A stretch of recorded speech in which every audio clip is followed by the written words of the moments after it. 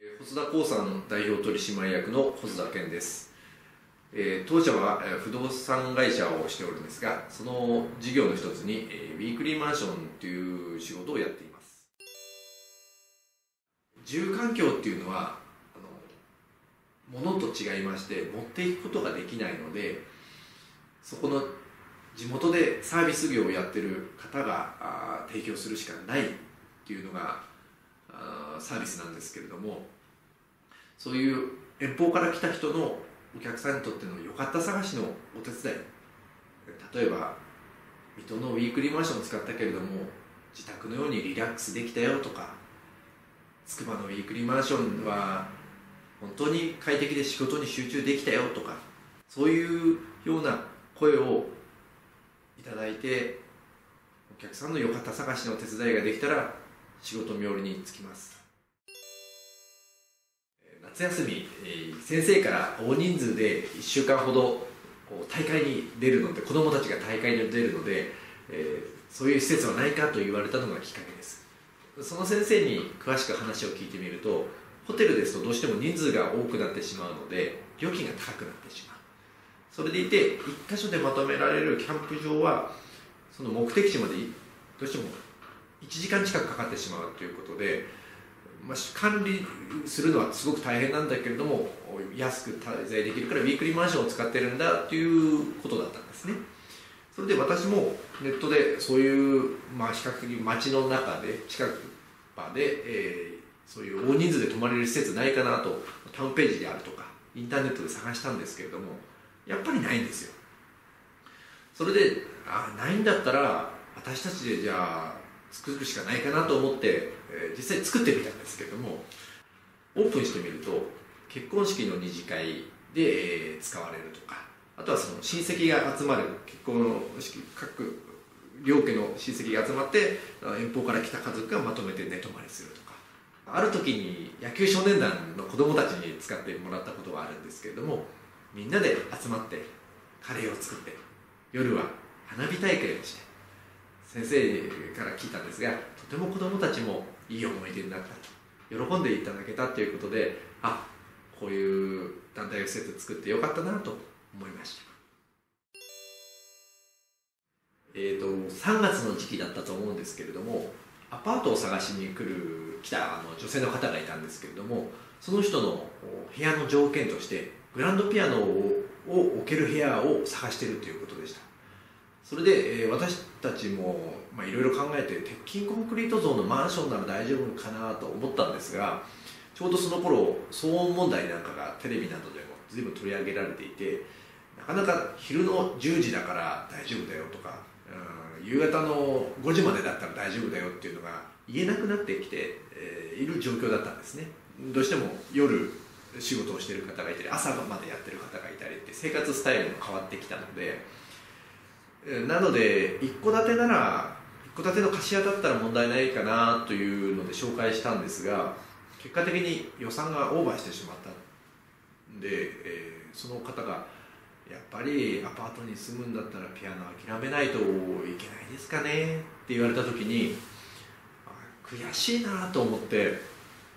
どうにかできないのかなっていうのをちょっと真剣に考えたんですね。それでいろいろやっぱり探したんですがアパートで音楽ができるっていう、まあ、近くに音大もないですしそういう防音完備の建物っていうのがなかったのでないんだったら私たちで独立してこう平屋のようなもので作るしかないかなと思って作ってみました。で、えー実際今2箇所のスタジオつくば市の天久保と松代というところにあるんですがこれ始めてみますと想像以上に、えー利用者が私たちが思ってた以上にあありましてアパートに引っ越すと同時に楽器であったりそういうピアノを諦めてた人っていうのはものすごく多いんだなっていうのを実感しました、えープライベートで筑波大学の留学生に、英会話を習っているんですけども学生さんももう長く続けていると都度卒業卒業っていうので先生が私の先生も何人も入れ替わってるんですね。そうやってまあ英語を通して、えーいろんな話を聞くことがあるんですがどの先生も言われるのが英あ日本語は非常に難しい。で普段は外国人同士でいるから英語は一切使わなくても生活ができる。でそうなると悪循環で日本語を覚えないから日本でアルバイトとか言葉がしゃべれない。仕事ができない。そういう話を聞いた時に私たちはパート紹介業だからそういう英会話の先生を紹介するのも、まあ、紹介業っていうくくりでいいのかなっていうのがあ思いついたんですけども始まりです、えー、茨城県の土浦市では大きな土浦全国花火競技大会という大会があるんですけれども全国から花火大会その土浦花火大会を見たいということで15万人とも20万人とも言われる人が集まってきます。それで私があの学生時代に水戸駅でゴミ拾いをしてたことがあるんですけどもそれで人が集まるところにはゴミが出るっていうのを知っていたので花火も相当人が集まるのでゴミもものすごい量が出るんじゃないのかなと思いました。